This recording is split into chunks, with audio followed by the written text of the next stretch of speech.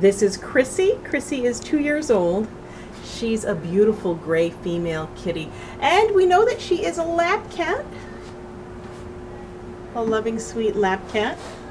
She's available for adoption here at Noah's Kingdom. She is fixed. She has all of her shots and she's looking for that forever home.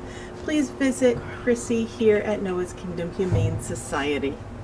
She's looking out the window waiting for you. Oh, you see what she's doing with the front paws? That's called kneading. And cats do that. They call it a hangover from kittenhood. That's what they do. They knead their mother. They knead on her body and uh, nurse. Well, when a cat does that, that's a sign of affection and love. So when I see a cat doing that, and often they'll do it to you, they might do it to your chest or to your stomach or your legs.